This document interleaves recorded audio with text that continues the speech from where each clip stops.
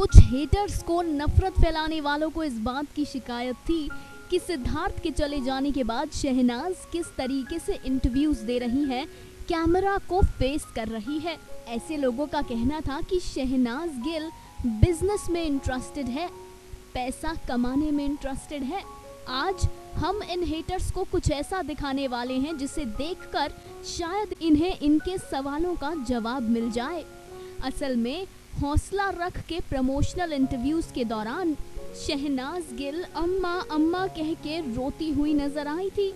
जी हाँ शहनाज बिलक बिलक कर रो रही थी और उस वक्त शहनाज गिल को उनके को एक्टर्स दिलजीत और सोनम बाजवा संभाल रहे थे। हमने कहा था ना कि ये लड़की अपने आप को जितना मज़बूत दिखा रही है, अंदर से उतनी ही टूटी हुई है।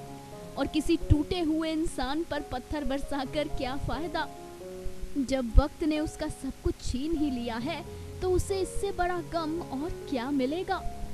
Final call news desk